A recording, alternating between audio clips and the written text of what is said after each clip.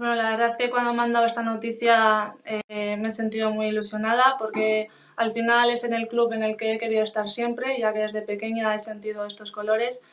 Y bueno, la decisión no ha sido nada difícil porque al final es lo que yo he querido, estar aquí en casa y en el club en el que me ha dado la oportunidad de debutar. Así que solo tengo palabras de agradecimiento. He hecho dos pretemporadas con el primer equipo y la verdad que esta segunda eh, yo diría que ha sido la más importante porque yo no me esperaba nada de lo que iba a pasar y a finales de pretemporada recibí la comunicación de Villacampa de que este año iba a tener dorsal en el primer equipo, a pesar de tener ficha del filial.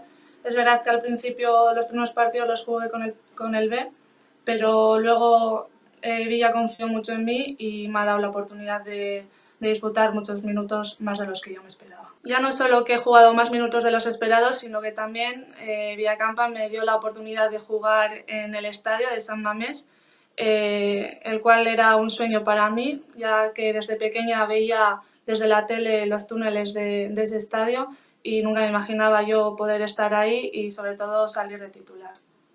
Quiero daros las gracias a todos por todos los mensajes de apoyo y de felicitaciones y sobre todo a todos mis entrenadores y mis compañeras que he tenido durante todo este recorrido y aún más a mi familia, que es la que me ha apoyado durante todo este tiempo.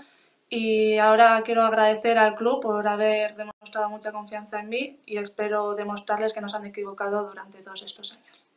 Espero que acabe pronto esta situación y poder volveros a ver pronto en Lezama. Un fuerte abrazo a todos. Euchi Gogor.